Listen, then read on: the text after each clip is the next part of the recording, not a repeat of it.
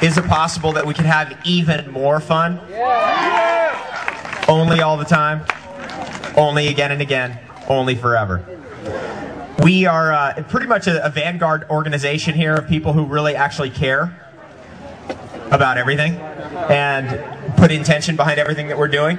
And I want to share with you today a, a little piece about this that some of you may be aware of. Some a good friend of mine came and saw me yesterday, and he had no idea about any of this stuff that I was really into. And so I don't really know because stuff filters out there on the internet. Some stuff's out there on YouTube. Anybody ever seen YouTube? This is my favorite thing now. We were watching uh, ghost videos on YouTube last night. It's a wild, there's some wild stuff on YouTube. But anyway, there's a lot of information that I'm putting out there. I'm not sure who's gotten what because a lot of it I just give away for free. There's a document that's been running around the internet for free that talks about a very specific subject that we're going to touch on here because this subject is kind of where we're all going because most of us here want to live over uh, 80? More. 100. 100? 120? Look, people people have made it to 100 on 60 cigarettes a day on some kind of a thing of some kind of a fried animal muscle called meat. Never had a vegetable in 20, 30, 40 years. I think if they ate well. There's a few of you in this audience right now. You might make it to 200 if you had the right technology, if you had the right angle. Now, I use the word technology because it's a word we're all intimately aware of. And this idea is, is that do you drive the same car you drove when you were 16? How many people here are still 16? Why, why did you change it? It got old. Let's get on with the new. Something better came along. And that's kind of what's happening with this whole field of nutrition. We're kind of like, yeah, that's old news. We're on to the new thing. That's old news. I mean, I love lettuce. You know that. But it's kind of old news. We know that lettuce and celery are good. We know that oranges and apples are good. We know that parsley is good. We know that uh, hemp seeds are good. But now we got to get on to where this is all going and kind of drive into a new territory. That's why we came to this event because some of you already know that raw food is good for you. How many people are confused? How many people don't know that? Just totally confused, not sure if they should eat a tomato or cook it. You ever seen this? Like, what about I read about lycopene? How many people have gotten this one before? Okay, check this out. You get five times as much lycopene if you cook the tomato, but you also get five times as much lycopene if you blend the tomato. And you know where that information comes from? Dr. Atkins' New Diet Revolution. He's out of court. He died of a heart attack. His heart, you know, of course, his diet stops heart problems. That's the usual routine in the diet world. So you could just tell them, well, you know what? I read in Dr. Atkins' New Diet Revolution that all you have to do is blend tomatoes. You get five times as much lycopene, but you don't explode every plant cell because of the heat. That's just a little angle you can use. We have discovered, actually, in this in our field, um, some pretty startling information. And uh, you know, I'm kind of hardwired for this for medical research. Really, both my parents are medical doctors. They met in medical school. Is anybody aware of that? I was conceived in a medical school library. In the corner, like there's one dark corner with like maybe one alternative health book they tried to hide. They turned it around, left it in a corner. The whole situation is so beyond ridiculous, it's hard to even fathom.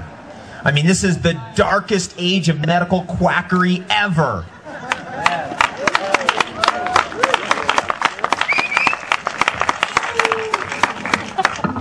You know, doctors are like, Excuse me, I'm sorry. well, uh, looks like we've picked up a small cancerous growth in your breast, and um, we're going to start you on chemo right away. And they give you the whole doomsday report. Now, due to the internet, we get on the, online now. We go over here, we go, oh my God, I could smile. I could do yoga. I could have the best day ever. I could jump in a spring. I could actually get into a waterfall. I could go to Hawaii and breathe fresh air. I could have fun again. I could have joy in my heart. I could actually drink the best water ever. And look at this whole diet I could be on. Next day, back to the doctor's office. Um, yeah, we're going to get you on the chemotherapy, and we just need you to authorize this right here. We need you to authorize that right there. Here's your insurance papers. Please authorize that. Uh, Doc, before I do that, I just want to ask you a question. Um, do you think this has anything to do with my diet? No, no, no. This has nothing to do with diet. But here, eat these pills. Now they're bypassing the whole eating thing completely. They just inject it into people. What is it about doctors and injecting? They have to inject people with something. It's like it's kind of an archetype. I was I was freaked out by needles and all that stuff when I was a kid because I was around it. I grew up. I went on, with my dad on house calls all the time. I did that for years. You know, like my mom would be doing her thing, and my dad would be like, "Okay, you got to come with me," and we go on house calls together. So we'd see Mrs. Smith year one, year five, year eight, and uh, that's why I'm a raw foodist today. Somewhere in my genetics, I'm hardwired for medical research. So what I'm going to kind of throw in here today is this whole uh, discovery that happened about 25 years ago. And it goes right to the root of everything that we've been talking about all weekend, and that is you don't ask a fish about water. Why? It's right there, you can't see it. Right. The whole assumption of cooking. Why didn't we question that assumption? It's just too close. We couldn't we just it's just too close, couldn't see it. it's right there then that all the significant scientific breakthroughs will come in that way in the future. That we became so technologically advanced that Sir Isaac Newton, Pythagoras, the greatest engineers, Archimedes, and every single Greek super philosopher could not figure out how that pyramid was built. Not even close, not to get to even base one. But here's some retired Flint, Flint, Michigan construction worker figures it out. That's the kind of world we live in because it's so obvious we can't see it. Well, this is one of those. And it's one of those I think that once you once you hear this and you turn it over and you start looking for it and you start seeing it out there, it will it will just resonate. Well, and it actually eventually you'll go, okay, um, we're changing we're changing the road. We're going this way now. Because what's been discovered is that chief recycling organism of all mammals, reptiles, amphibians, birds has been discovered when I was about 14 years old, I remember reading a science article. I, I, grew up very scientifically minded. Everything was about science, read this, that, the other thing. That's why I don't believe in that stuff anymore. And it said this that there was evidence of arthritis in dinosaur bones. Fossilized dinosaur bones, evidence of arthritis. And I thought, even then, at a young kid, I knew it was the food.